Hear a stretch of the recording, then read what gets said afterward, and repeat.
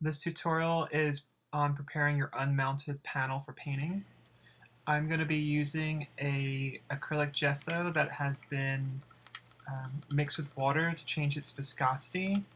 It's not extremely runny, but it's also not very thick, so it's it's quite loose, but it's not really loose. You need a good bristled brush that doesn't have any hard parts, and then your panel and sandpaper. So first thing I'm going to do is sand my panel down so it's nice and smooth.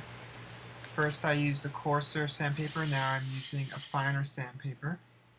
Then I'm going to wipe off all the, the um, powder from the sanding.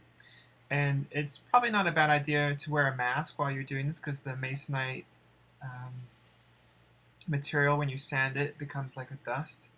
But I'm going to make sure that I wipe my panel extremely clean because if there's any brown masonite particles, it will mix with the gesso, so there it's nice and clean. So when you gesso, you're going to gesso a number of coats with opposing directions. So I'm going to mix up my gesso again to make sure it's mixed well.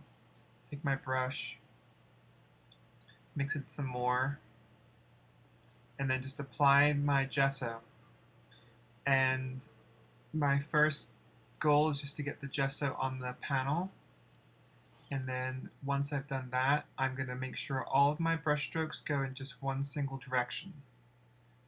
Apply the gesso, making sure too that I don't have any lumps or um, anything.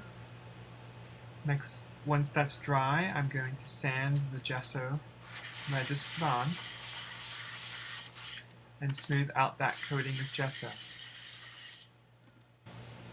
I'll wipe it down again and apply another coat, this time with my brush strokes going in a perpendicular direction to the coat I put on previously. The second coat can be a little bit thicker than the first coat. So you can see that it's going on a little bit thicker, plus the masonite isn't absorbing the gesso quite so much.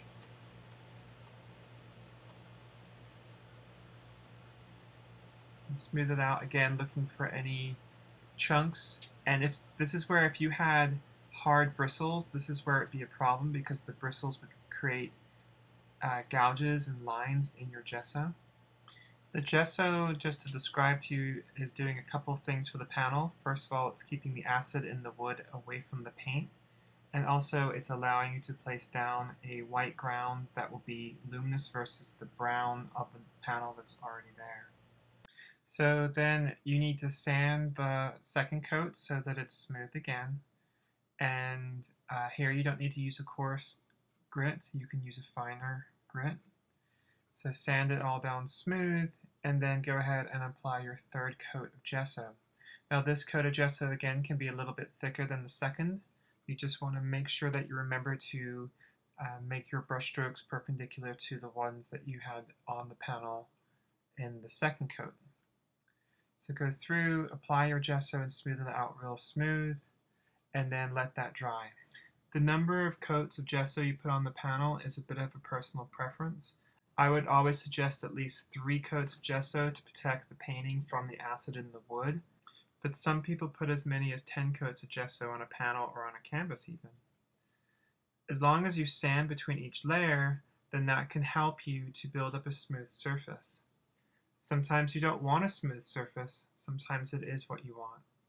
But the number one goal of the gesso is really to protect the substrate, which in this case is the panel, from um, the oils in the paint and also to protect the painting from the acid in the wood. When you're done with your gessoing, you're going to clean up as you see, I use plastic underneath where I was gessoing. Such a great idea because when I'm ready to clean up, that acrylic gesso is water soluble. Just going to use my atomizer to spread some water around and then clean it up with a rag. Make sure you clean your brush really, really well because if you have that brush dedicated to gessoing and you don't clean it, it will get hard in some places and then the gesso will get streaky and you'll have texture to your painting when you don't necessarily want that texture.